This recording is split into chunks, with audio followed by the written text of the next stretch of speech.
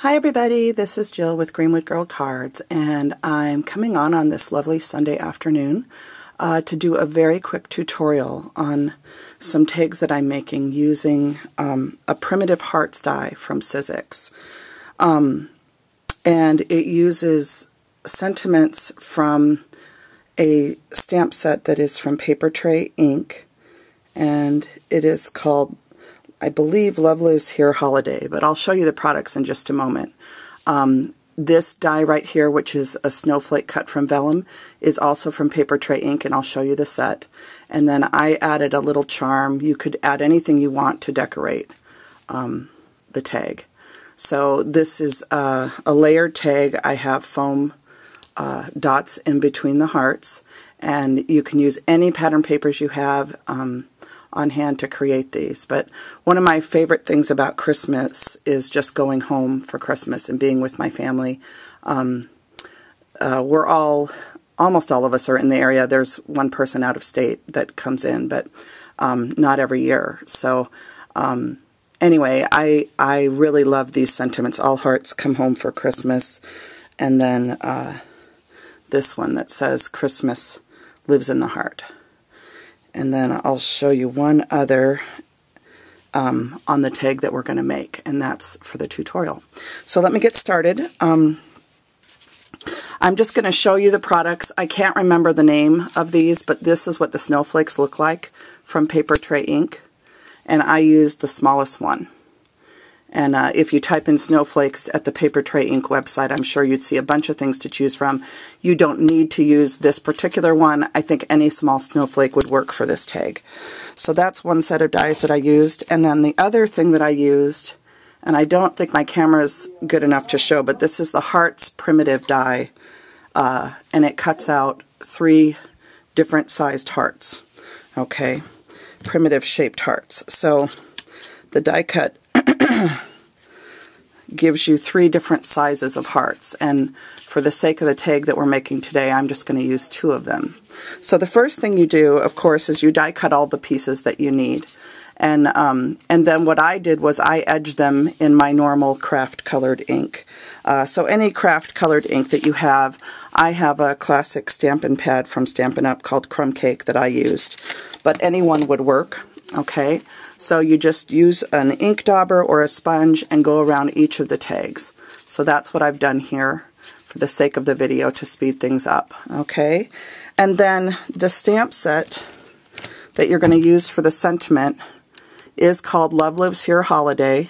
And I love, um, this was concepted by Melissa Phillips, who I greatly admire. And um, she's a designer with Papertrey Ink, Reverse Confetti, um, lots of different scrapbooking companies, and um, she's a designer that I just, I love everything, every single thing she makes. so um, I love watching her um, her blog for posts and uh, seeing what she's up to. But this this and the Love Lives Here stamp set are some stamps that she concepted that Nicole Heady helped design for Papertrey Ink. And it's one of, again, another stamp set that I use a whole bunch. So um, the sentiments I'm using today are from that stamp set. So I stamped out um, this sentiment that says, hang your heart at home for Christmas. And what I like about these little heart um, tags that we're making is that you could almost just hang these on the tree even. You could back, you could go ahead and put another heart with patterned paper on the back and these would be really cute ornaments just to hang on a tree because they're not very big. I'd say they're about three and a half inches tall. So um, anyway, I just think that you could use them as tags or as little ornaments. So, um, so anyway, I stamped out this particular sentiment, hang your heart at home for Christmas, and there's a bunch of different ones in the stamp set that you could use for this. Um, but specifically, I was trying to find sentiments that have the word heart in them. Um, so the next thing you do, once you have your pieces stamped and ready to go, and, and again, I did ink the edge of this also because I, I have a theory that if you're going to ink the edge of something, you should ink the edge of almost everything.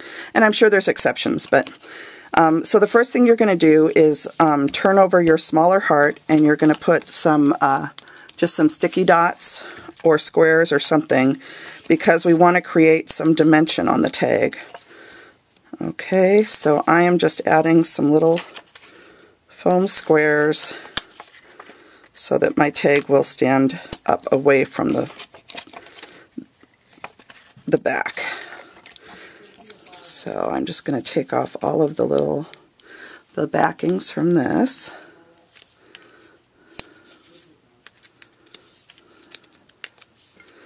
And then just line it up uh, with so that it's centered over the bigger heart. And put that together.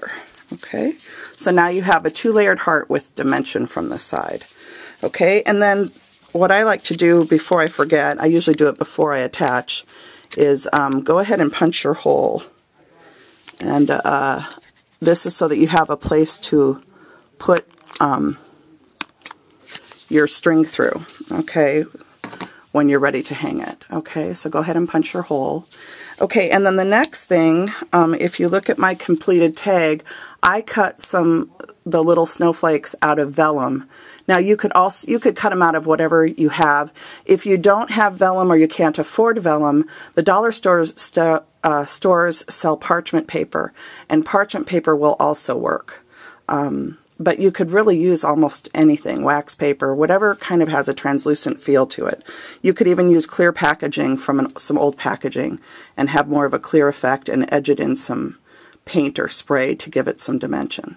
So um, just some ideas there. Uh, you know, I think the biggest thing about creating is just play.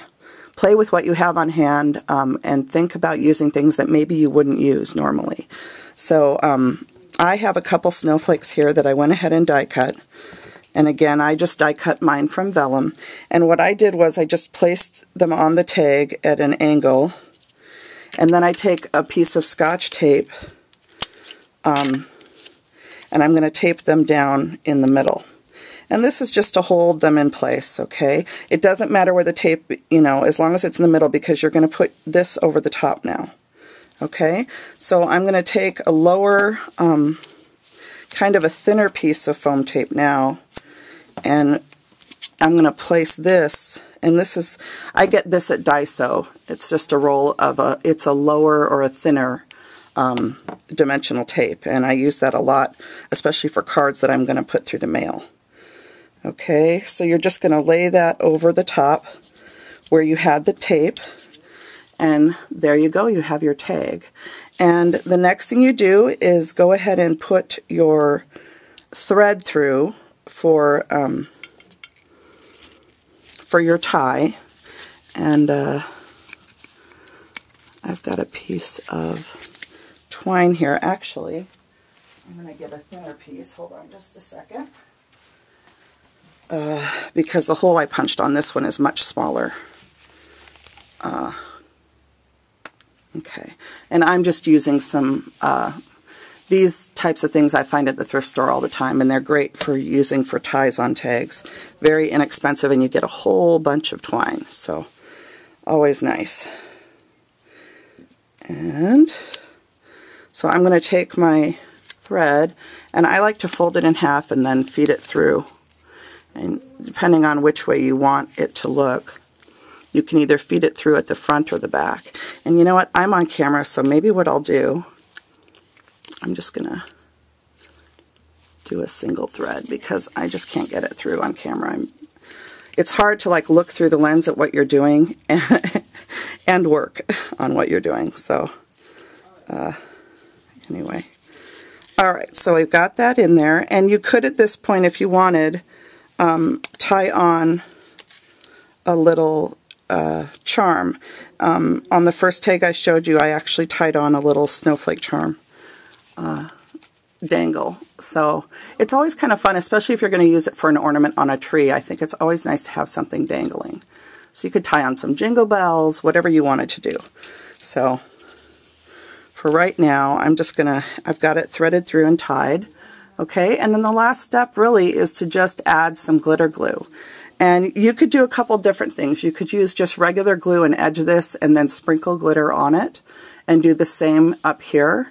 Or you can use, um, I'll show you on this one I used a wink of Stella. So it's just glimmery, okay? Um, on this one I used uh, some Stickles Diamond glitter glue, Okay, so this one looks a little bit different. And this one I also stapled a piece of ribbon in place and then threaded my, my thread through the ribbon. Okay, so that's another way you can create a hanger for it. Um, but so that, that kind of gives you some ideas on how to make these tags. And uh, I just think they're so cute. I think Christmas is all about love. And it's really about family and friends and spending time with people that are special to you. And um, so I think these are the, the perfect little tags to use for that. So that's it for this tutorial. Uh, this is Jill with Greenwood Girl Cards. If you like this, please thumbs up and subscribe. Hopefully I'll be back with some more Christmas tag videos soon. Blessings and hugs. Bye for now. Oops. Caught on my ring.